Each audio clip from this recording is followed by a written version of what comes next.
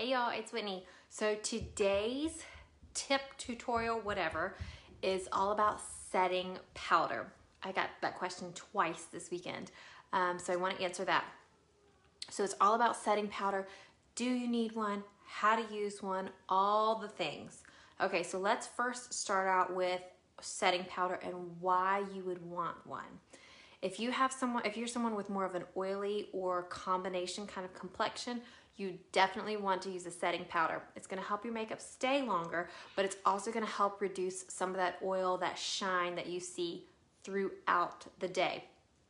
If you are someone who does not like the dewiness or the dewy look that creams give you, you can definitely use a setting powder to help kind of make that more matte. Other reasons that you would use setting powder, um, if you use Seint's Vanilla Dust, it is almost like a brightening powder. So under the eyes, it will give you that more bright appearance um, that you're going for. As well, any setting powder that you choose to use, make sure it is a translucent shade because if you pick one that's got a little bit of a tone to it, it may change the color of your makeup. So you definitely don't want that to happen. Now, as far as ordering your products, if you are someone that is more combination and oily, you may want to couple a setting powder and a setting spray. So for me personally, I use our Seint um, Stay Spray. I use it as my primer. I spray it on with a perfector, or I dab it on with a perfector. I apply my makeup. I then will either, depending on if I'm oily or not, if I'm not feeling very oily, I'll do a setting powder and then finish with a setting spray. If I'm feeling oily, I will do the setting spray first and end on a powder. So personal preference, but again, if you're someone that's a little bit more oily, you may have to couple both to help control that oil throughout the day. So let's talk. Um, you can use, there are tons of, of setting powders. Some are loose like this, and then also Seint has a pressed one. I keep it down here with my eyeshadows because I like to keep my powders and my creams separate. So this is a pressed powder. Again, whichever you choose to use, personal preference. As far as applying your setting powder, you only want to apply that in the areas where your highlight is applied, all right? And you can apply it with something like this, like a perfector sponge, or you can apply it with this end of the powder brush. So I'll do one on each side so you can see. And you do this the same for the loose as you do this pressed powder. Okay, so I'm gonna take, I'll do this one first. So this is um, the powder brush. I'm just dabbing it in and I am pressing where, I only do, like I said, this half.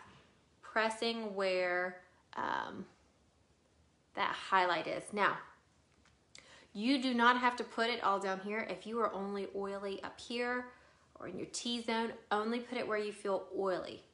Or you can do it anywhere that there is um, the highlight, not your contour or your lip and cheek color. If you use a perfector sponge or a beauty blender, dab it on that sponge and just press it.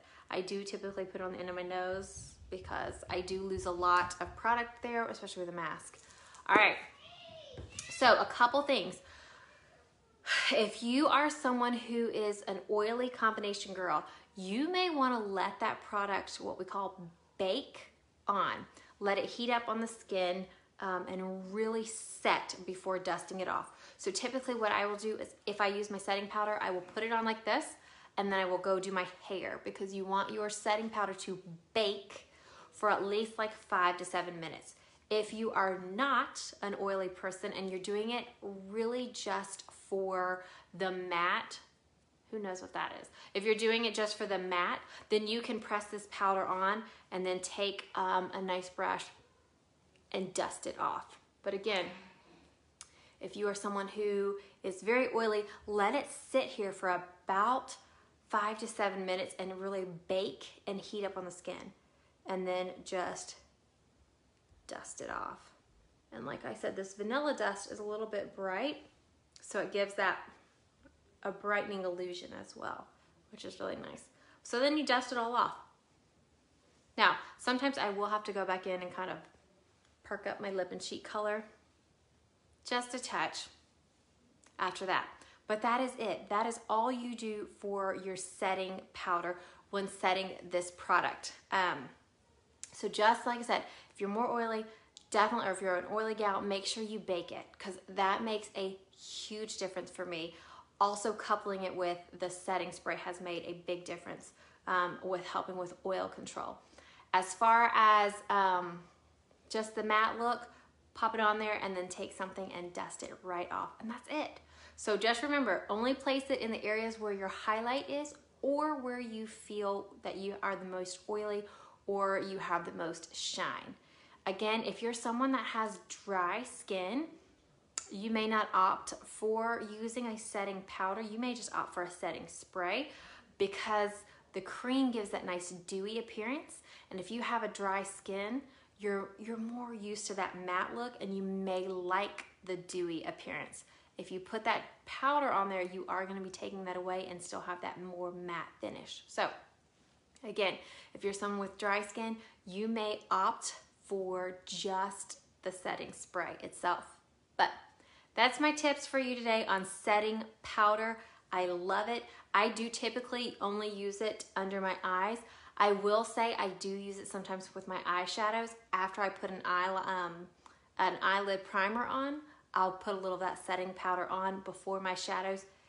It really just helps keep everything in place.